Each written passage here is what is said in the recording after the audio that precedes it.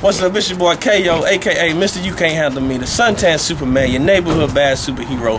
Re Up Entertainment, the SPC2G Live Wire, man. I'm here on behalf of my partner DJ Lazo. He finna drop his Murdermentals too.